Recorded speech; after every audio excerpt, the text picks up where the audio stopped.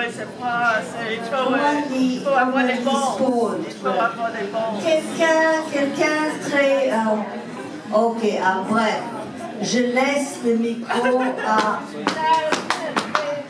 à Gabriella, à Arnaud et à Jasmine Vegas. Et peut-être à vous. Thank you, Lina. Non, mais je disais, j'étais heureuse et émerveillée de te rencontrer. Il y a à peine un mois ou deux, parce qu'on a vécu le même quartier de New York pendant les mêmes années.